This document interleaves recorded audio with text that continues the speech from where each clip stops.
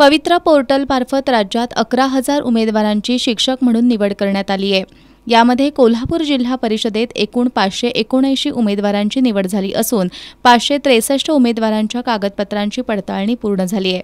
मात्र अद्याप शिक्षकांच्या आंतरजिल्हा बदल्या पूर्ण झाल्या नसल्यानं नव्यानं निवड झालेल्या शिक्षकांचं समायोजन आणि पदस्थापना झालेली नाही. यामुळं संतप्त झालेल्या उमेदवारांनी कोल्हापूर जिल्हा परिषदेचे मुख्य कार्यकारी अधिकारी कार्तिकेयन एस यांच्या दालनाबाहेर शुक्रवारी ठिय्या आंदोलन केलं होतं. यानंतर मुख्य कार्यकारी अधिकाऱ्यांनी तात्काळ नियुक्ती प्रक्रियेचं वेळापत्रक प्रसिद्ध केलं जाईल असं आश्वासन दिलं होतं.